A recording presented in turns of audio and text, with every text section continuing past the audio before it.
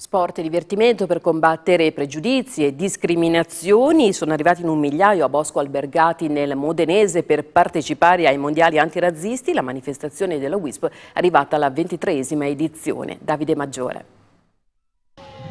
Tolleranza, ehm, cittadinanza attiva e solidarietà.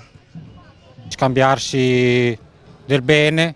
Eh L'importante è che ci divertiamo. Mi piace per divertire i gente, per conoscere i gente. Questo e molto altro sono i mondiali antirazzisti WISP. La manifestazione di Bosco Albergati nel Modenese è arrivata alla ventitresima edizione.